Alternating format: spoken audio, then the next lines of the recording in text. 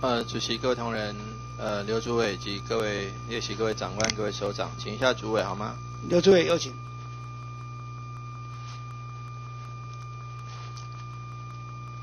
黄委员好，主委你好，好。呃，我您曾经这个日本发生强震之后啊，您曾经提过，就是说我们台湾的股市，事实上跌幅这个跟其他国家来讲，并不显得特别多。昨天嘛，哈，昨天我讲这个话，昨天我去演讲时候碰到媒体的。可是事实上，如果我们调出昨天的这个这个跌幅来讲，日本当然跌了百分之十点五五，因为他们是当时的国家。台股跌了三点三五，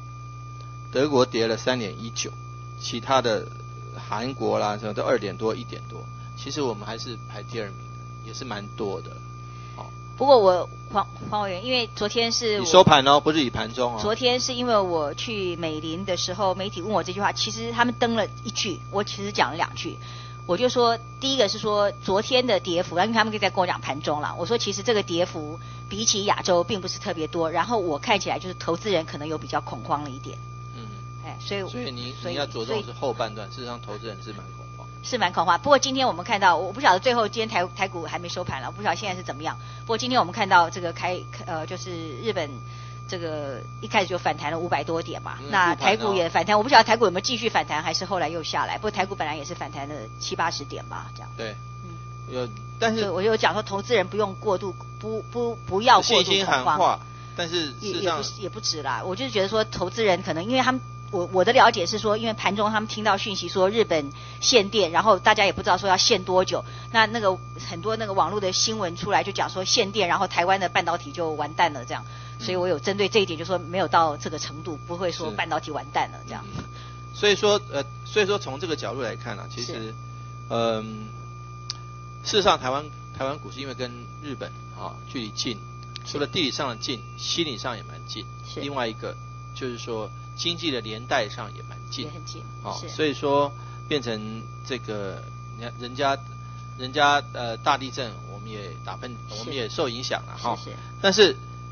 嗯，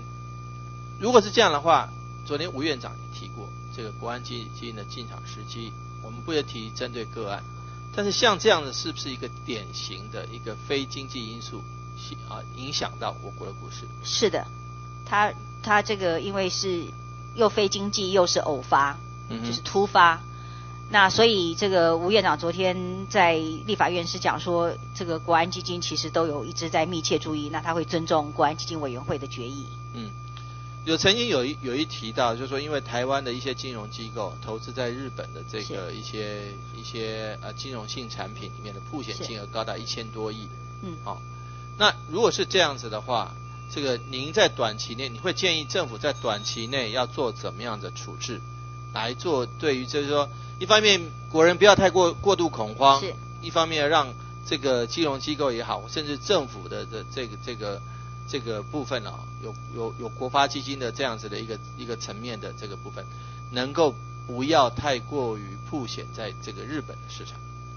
是，我想我们金融机构虽然有在那边投资，可是因为这一次日本的金融，其实他自己受到最大的创伤是保险行业，嗯，啊，因为他很多要付保险费，那所以以这个角度来讲，其实台湾的的影响是还好了。那不过我觉得我们比较直接的还是台湾的产险基本上是没有去承保这个，哎，对对，跟日本的这个生意这做的比较少。我觉得我们的影响比较还是在于就是上游产业的这个。呃，关键零组件的这个部分，那我们这两天也有这个积极询问各个厂商，那他们是说很多呃，当然是很紧急的要赶快去应应，因为他们就近本来的那个单子进口的单有主要是从日本，可是韩国跟别的地方也是有，所以就是在洽别的地方说，如果这个日本的限电情况持续的话，那是不是